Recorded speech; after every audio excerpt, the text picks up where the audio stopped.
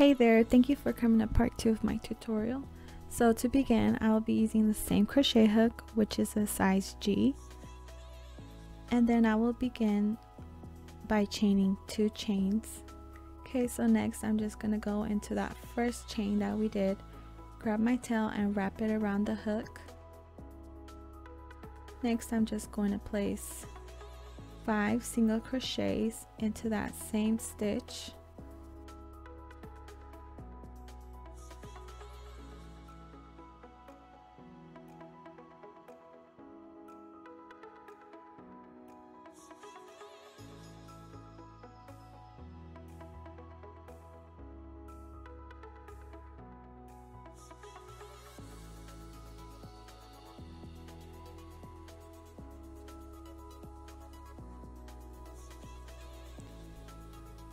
So once you're finished with your five single crochets, you can just slip stitch together.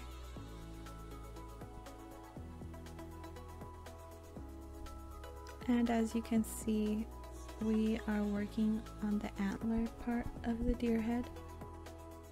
So next for row number two, I'm just going to place one single crochet into that first stitch and then I will just place an increase into every second stitch all the way around. So the pattern for this row will be one, then two, one, then two, all the way around.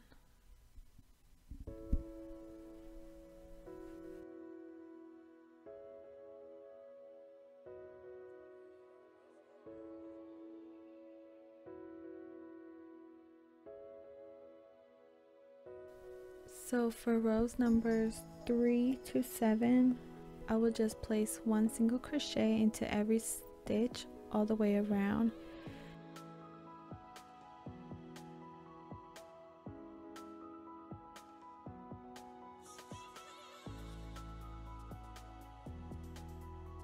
So for row number 8, I just placed one single crochet into the first two stitches. Then on every third stitch, I place an increase and I did this all the way around.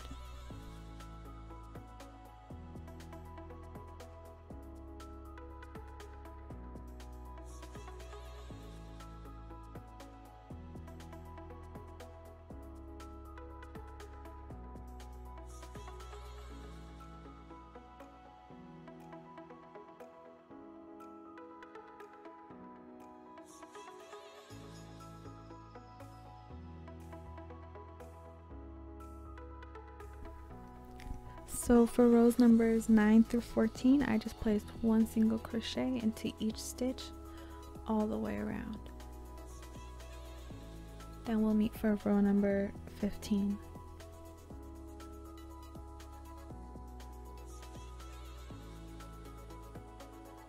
So for row number 15, I just placed an increase into every second stitch. So I just placed one single crochet into the first stitch then two into every second stitch. And I did this all the way around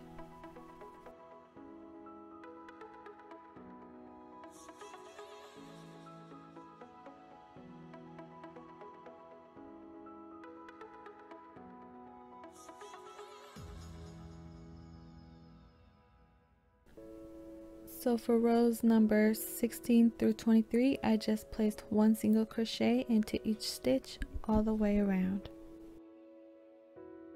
So I will be stopping at row 23 for the small part of the antlers and I will repeat the same pattern all over again for the long part of the antlers.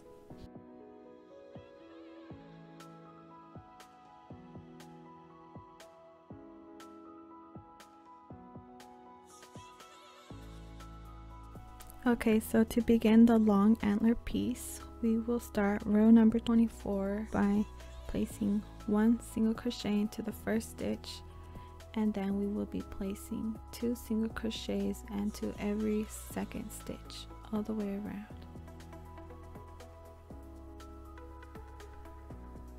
So one, then two, into the next stitch all the way around. So for the next step, I just placed um, stuffing into the horn just because once you start um, making it bigger, it's kind of, I find it hard to stuff. So right now would be a good time to stuff it. So once I was finished with row number 24, I would normally just slip stitch together, but I'm just going to place one single crochet into it. And I will just be placing one single crochet all the way around. Uh, and I did this just to save time and not slip stitch every row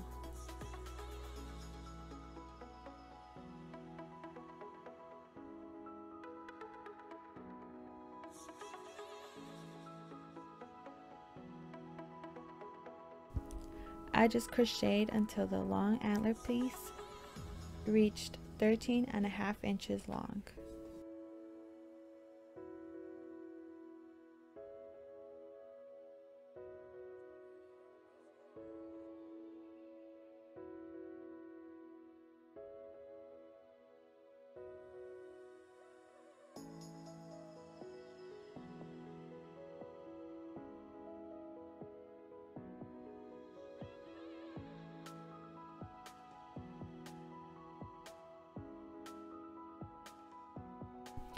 So next I just grabbed like about nine pipe cleaners and I just kind of twisted the end so that it would be easier to um, insert. So the next step was kind of tricky and annoying but I just stuck to it and stuffed it.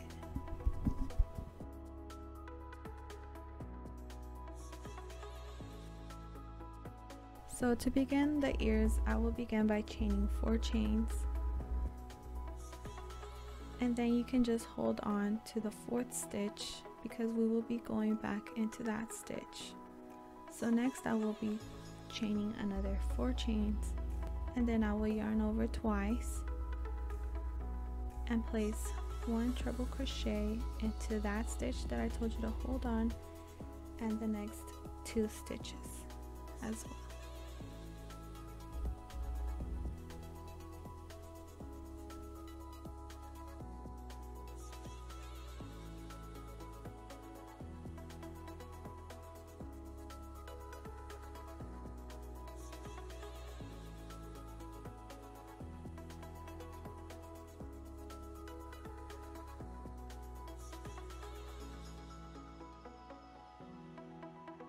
So next I will just place 9 treble crochets into that last stitch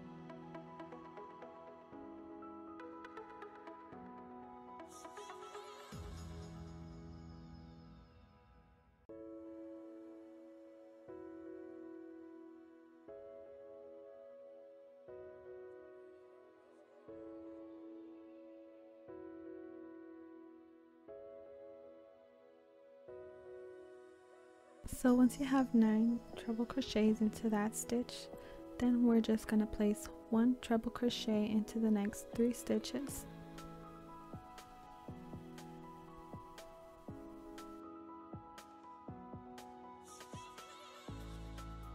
So for the last stitch, I just did the same as the beginning. I chained 4 chains and then I slip stitch to the center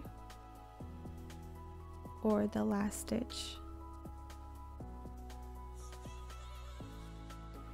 and then I just chained one and placed one single crochet into that same stitch and another single crochet into the next stitch. Once I got to the third stitch, I just placed three single crochets into that same stitch.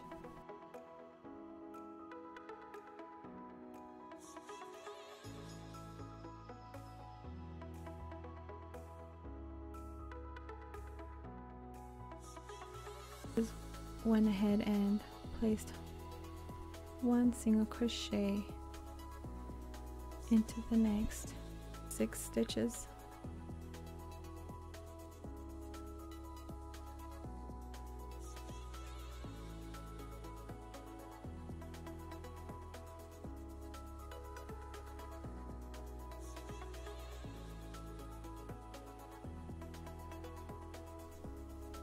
So next I just place two half double crochets into the next stitch.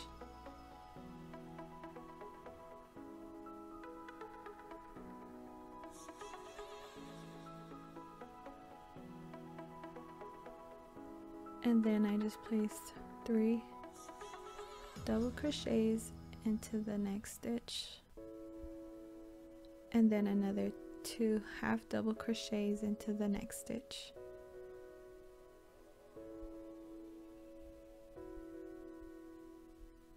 so next I just placed one single crochet into each stitch for the next six stitches